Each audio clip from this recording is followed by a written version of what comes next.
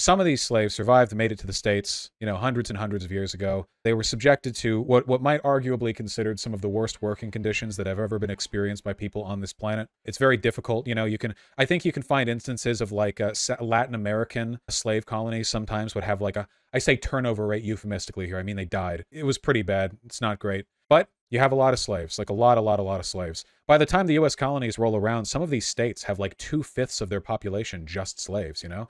Um, a good portion of people in the South in the antebellum period owned a slave. I think it was one third of Southern families had one slave or more, something like that. One third thereabouts, I think. It's in the ballpark. You know, modern Confederate lost cause types will pretend that only like two or three people in the South owned slaves and they were all Jewish, but that's not true. Uh, it was it was a relatively common thing.